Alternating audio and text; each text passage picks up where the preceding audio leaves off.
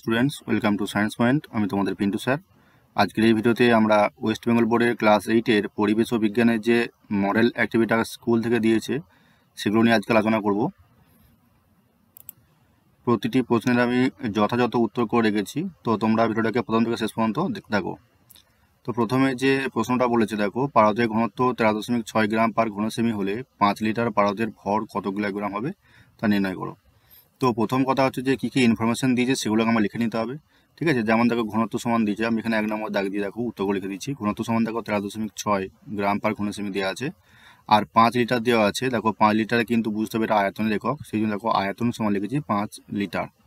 তো লিখেছি পাঁচ হাজার ঘন ঘন সেন্টিমিটার। এটা কেন করেছি দেখো? আমি এগুলোকে, এককগুলোকে এক রাখতে গেছি কারণ দেখো, এখানে গ্রাম পার ঘন সেমি করা আছে। তাহলে এটাকেও আমাকে কিন্তু ঘন সেমি আনতে হবে। তো আমরা জানি যে, এক লিটার সমান হচ্ছে এক ঘন ডেসিমিটার।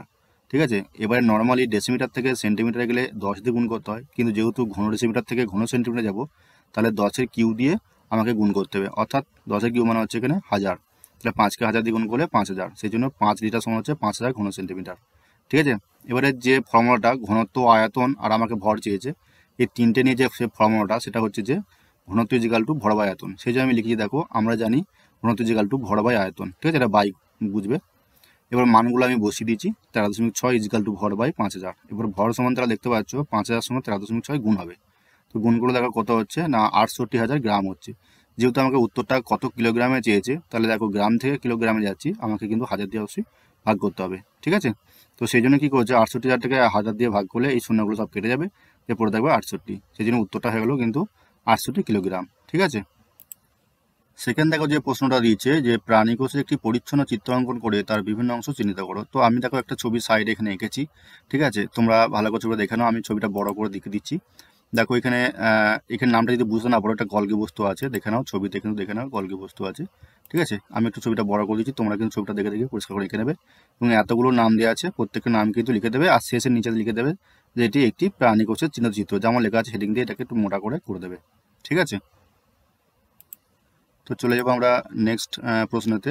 প্রশ্নটা বলছে, তিন নম্বর প্রশ্নটা, বিশেষ পরীক্ষা থেকে রাদারফোর্ড পরমাণুর গঠন সম্বন্ধে কি কি সিদ্ধান্তে উপনীতি হয়েছিলেন?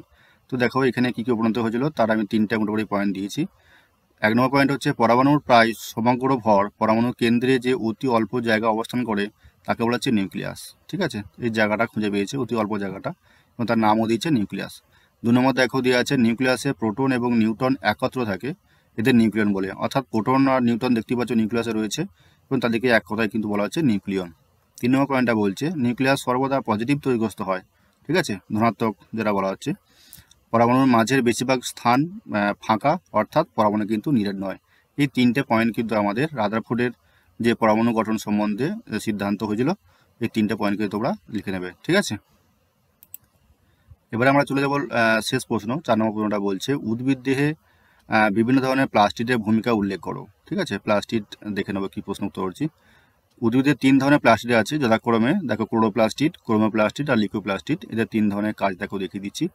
তো ভূমিকা বলছে সালাদ সংশ্লেষ প্রক্রিয়া খাদ্য তৈরি করে, এছাড়াও আরএনএ ও প্রোটিন ও ফ্যাটি অ্যাসিড সংশোধন করে, ঠিক আছে? এই আরএনএ ফুল ফর্ম কিন্তু রাইবো নিউক্লিক অ্যাসিড, ঠিক আছে? জেনে রাখবে একটু। তাহলে এই তিনটে জিনিস কিন্তু অ্যাসিড সংশ্লেষ করে। ক্রোমোপ্লাস্টিকের ভূমিকা বা কাজ কি বলেছে? ফুলের বিভিন্ন বর্ণ সৃষ্টি করতে সাহায্য করে আর লিকুইপ্লাস্টিকের ভূমিকা হচ্ছে খাদ্য সংশ্লেষ করা, ঠিক আছে? এই ছিল আমাদের চারটি প্রশ্নের উত্তর, ঠিক আছে? তোমরা ভালো করে খাতাতে লিখে নেবে এগুলো। তো যদি কারও কোনো সমস্যা থাকে কমেন্ট বক্সে কমেন্ট করবে, কেমন লাগল প্রশ্নের উত্তরগুলো সেগুলো তোমরা কমেন্ট করবে, ঠিক আছে? তো স্টুডেন্টস ভিডিওটা ভালো লেগে থাকলে অবশ্যই ভিডিওটাকে লাইক করো, ভিডিওগুলোকে বন্ধুদের মধ্যে শেয়ার করতে থাকো।